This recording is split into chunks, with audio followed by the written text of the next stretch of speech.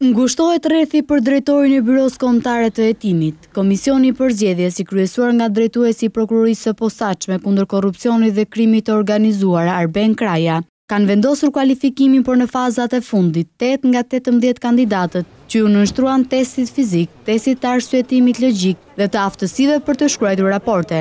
Komisioni i vlerësimit ka mbledhur pikët në total për secilin kandidat. Të kualifikuarit deri më tani do të përballen me të tjera kontrolle, përfshirë atë të pasurisë dhe të integritetit. Ndërsa në fund është testi i poligrafit, i njohur si makina e të vërtetës, një nga sprovat më të vështira për të marrë detyrën e shefit të Byrosë Kombëtare të Hetimit. Të gjithë kandidatët që u kualifikuan në këtë fazë kanë mbajtur poste të larta drejtuese në Policinë e Shtetit ndër vite, ndërsa vetëm Ylli Pjetërnika vjen nga radhët e prokurorëve, pasi ka qenë drejtues i organit të akuzës në Shkodër.